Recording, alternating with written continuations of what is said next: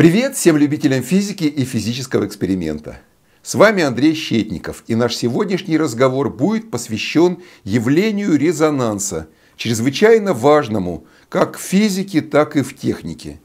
И этот разговор мы начнем с совсем простого опыта. Здесь у меня на столе стоит механический вибратор, который запитан от генератора переменных колебаний. И я возьму такую линеечку упругую с двумя грузами на концах – установлю ее на этот генератор. Сейчас мы его подключим и посмотрим, что будет происходить с линейкой на разных частотах.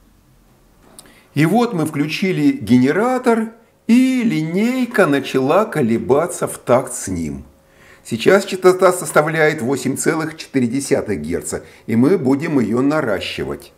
И мы видим, что амплитуда колебаний линейки постепенно становится все больше и больше – ну, она для картинки надо сделать скидку на стробоскопический эффект, от которого не избавиться. 8,9, 9 Гц, и амплитуда стала совсем большой. Может быть, она будет расти и дальше с ростом частоты? Но нет. Частота растет 9,4 Гц, а амплитуда стала меньше. Подождем еще немного. 9,6, 7 и амплитуда стала совсем небольшой. Что же это за такая частота в 9 Гц, на которой отклик линейки был максимальным? Ответить на этот вопрос очень просто. Для этого я, не включая генератор, заставлю линейку колебаться. И мы видим, что она колеблется, затухая на частоте как раз в 9 Гц. И теперь мы можем дать определение резонанса. Резонанс – это явление резкого возрастания амплитуды колебаний при приближении частоты вынуждающих внешних колебаний к частоте собственных колебаний системы. И понятно, что с явлением резонанса нужно тщательно разбираться и хорошо его понимать, потому что от него может произойти и очень большая польза, и не менее большой вред – когда у вас в квартире холодильник или стиральная машина начинают греметь от резонанса, это доставляет много неприятностей. Но уж точно все вы слышали про катастрофу, служившуюся во Франции в 1850 году, когда по мосту в ногу маршировал целый батальон солдат, и мост вошел в резонанс с этим маршем, обрушился, и более двух сотен человек погибло. В наших следующих экспериментах мы будем производить более аккуратные измерения. И для этого мы собрали вот такую установку. Ее основу составляет маятник, закрепленный на датчике вращения. Длину этого маятника мы подобрали таким образом, чтобы его период э, был равен ровно одной секунде. Ну, соответственно, он колеблется сейчас с частотой в 1 Гц. А внизу на этом маятнике закреплен постоянный магнит.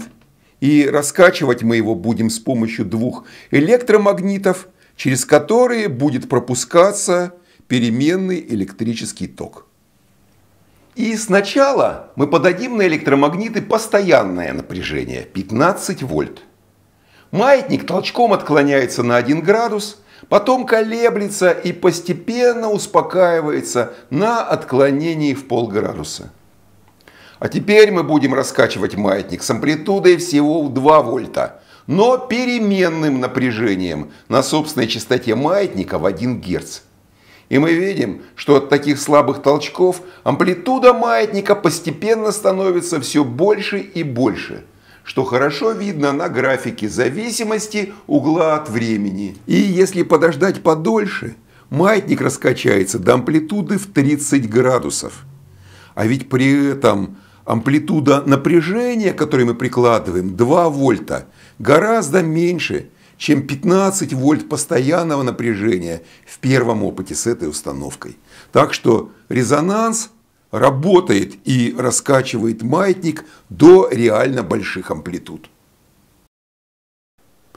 А что произойдет, если мы несколько отойдем от резонанса и будем раскачивать этот маятник периодической силой на частоте, несколько отличающейся от частоте его собственных колебаний? Оказывается, что результат такого эксперимента будет существенно зависеть от того, как быстро происходит затухание маятника. Но здесь у нас установлен хороший подшипник, и поэтому затухание происходит не быстро. Маятник уменьшает свою амплитуду на 40% за минуту, за 60 периодов. И чтобы сделать это затухание более заметным, мы сейчас немножко модифицируем нашу установку. И мы установим под маятником пластинку, которую можно опускать на разную глубину в воду, для того, чтобы обеспечить ту или иную степень затухания. А сейчас мы будем делать так. Пластинка совсем немного опущена в воду, я отвожу маятник и смотрю, как затухают его свободные колебания. И вижу, что амплитуда этих колебаний уменьшилась в два раза за 18 периодов. А теперь мы займемся вынужденными колебаниями маятника, и я буду подавать на электромагниты переменное напряжение, медленно меняя его с частоты 0,9 Гц до частоты в 1,1 Гц и при этом буду смотреть, как амплитуда колебаний маятника подстраивается под поданную частоту, а чтобы эта подстройка была хорошей, весь этот опыт будет делаться в течение 20 минут. Полученную при этом кривую называют амплитудно-частотной характеристикой или сокращенно АЧХ нашего устройства. На резонансной частоте амплитуда колебаний маятника составила 7,6 градуса. Теперь проведем горизонтальную прямую, соответствующую половине резонансной амплитуды 3,8 градуса. Эта линия пересекла графика ЧХ в двух точках, и разность частот между ними составляет 0,32 Гц. Эту величину мы и будем считать шириной резонансного колокола. А теперь я выдвину пластинку чуть сильнее – и тем самым увеличу затухание. Что же при этом произойдет с резонансной кривой? И мы видим, что пиковая резонансная амплитуда стала примерно в 2,5 раза ниже. Зато ширина резонансного пика стала во столько же раз шире. Увеличим затухание собственных колебаний еще больше. И пиковая амплитуда стала еще в два раза ниже, а ширина резонансного пика еще в два раза шире. И понятно, Почему чем меньше сопротивление среды, тем до большей амплитуды раскачивается маятник на резонансной частоте. Сила, действующая на магнит маятника со стороны электромагнитов, она по амплитуде постоянно, не зависит от того, с какой скоростью качается маятник. А вот сила сопротивления среды, она растет со скоростью маятника, и при какой-то характерной скорости у нас эти две силы становятся равными по величине, и дальше уже маятник раскачиваться не будет, потому что при еще больших амплитудах сопротивление перевешивало бы подталкивающую силу.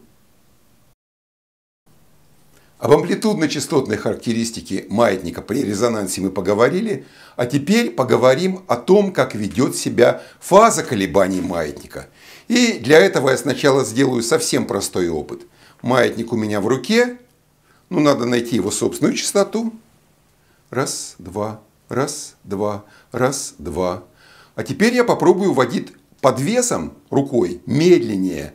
Раз, два, раз, два, раз, два. И мы видим, что маятник отклоняется в ту же сторону, куда отклоняется рука.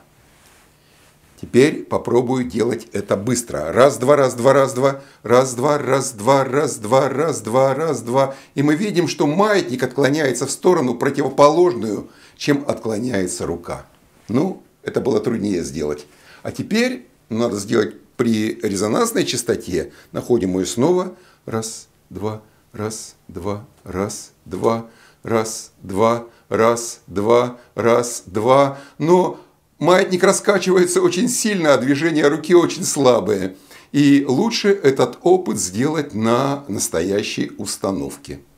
И мы снова воспользуемся нашей основной установкой, потому что с ее помощью удобно записывать и величину силы тока в катушках, которая пропорциональна сила, действующая на магнит, и отклонение маятника от нейтрального положения.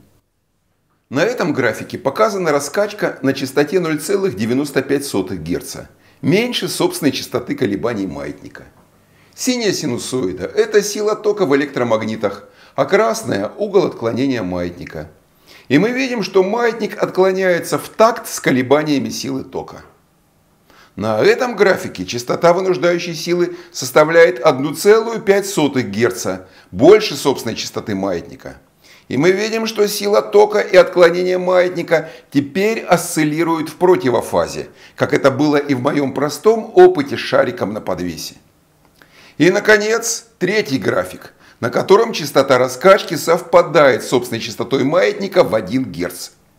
Мы видим, что теперь колебания силы тока и колебания маятника сдвинуты по фазе на 90 градусов – и маятник сильнее всего подталкивается вынуждающей силой, когда проходит нижнее положение с наибольшей скоростью.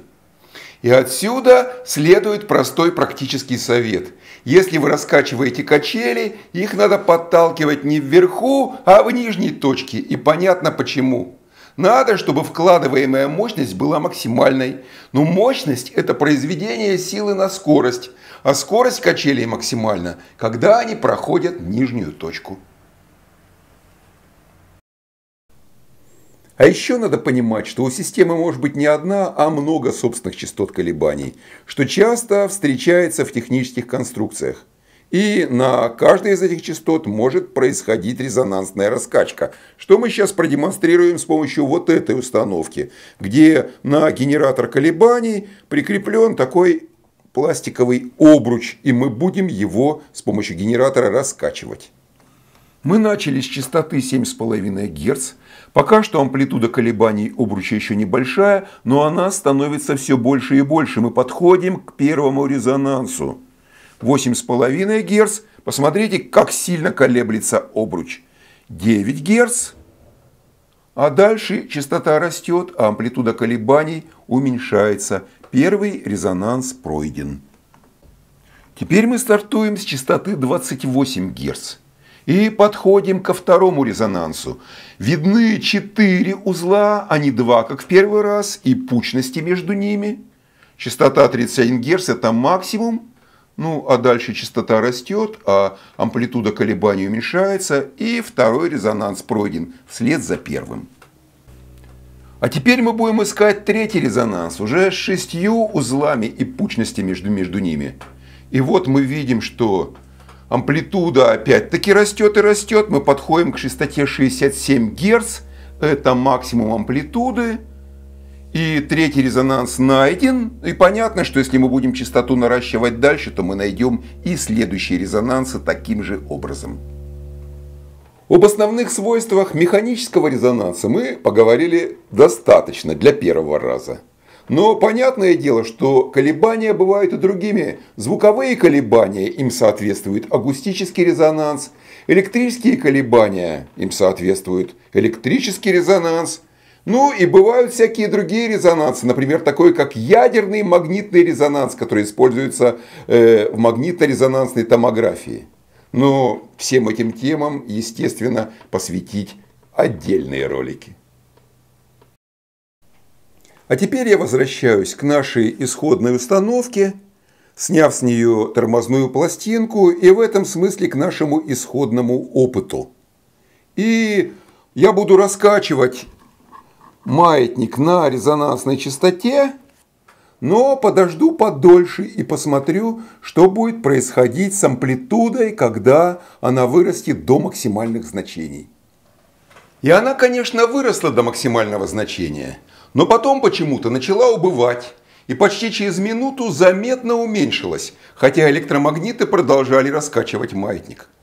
И такое попеременное увеличение и уменьшение амплитуды происходило снова и снова. А чтобы амплитуда колебаний перестала меняться, придется ждать очень долго. Спрашивается, почему же это происходит? Ваши соображения на этот счет пишите в комментарии к этому ролику на YouTube.